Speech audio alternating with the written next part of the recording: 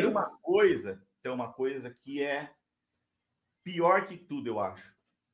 É o sentimento de frustração. Você achar que é você. Porque Entendi. você vê os outros fazendo e você não faz, você fala, nossa, eu não tenho dom, eu não sei, eu não sei o que, é eu, é eu, eu. Eu uma vez eu, eu, eu já estava desistindo. Até minha mãe falou: para com isso aí. Juro é sério mesmo? Juro por Deus. Nossa. Ela falou assim: ó, por que você não para com isso aí? Vai fazer outra coisa.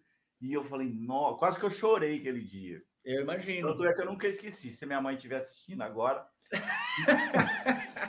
Aí, só para finalizar, a frustração é do, do, doída. É doída porque você acha que é você e não é. E, e o, que, e o que, que te mais dói? E o que, que mais faz acreditar que é você? Porque quem, quem que você está confiando? Num professor, que é uma autoridade, autoridade, né? Pô, se o cara está falando, eu estou fazendo, mas nem sempre ele tem razão. Às vezes o cara Sim. toca bem, às vezes o cara é um bom músico, mas ele ensina do jeitão dele e às vezes não tem paciência e não, não as sacadas que ele talvez tenha tido na vida foi para ele reproduzir o que ele faz na noite. Outros aprenderam dentro da salinha de aula, né? Porque o que eu vivi não foi dentro de uma salinha de aula só. Né? Eu passei por conservatórios, escolas, toquei na noite, toquei em tudo quanto é lugar, viajei, toquei quase o Brasil todo. E então, eu, depois eu parti para dentro do estúdio, produzi CD evangélico, country, sertanejo, toquei. E eu sabe, eu fiz de tudo. Até limpei o estúdio também, fiz. Aí, então... quando, você, quando você joga, eu até brinco, quando você joga o campeonato inteiro, você, você leva falta, você faz gol, você perde, ganha, vai. Quando, aí você, sabe, você é surrado, você sabe o que é certo e o que é errado.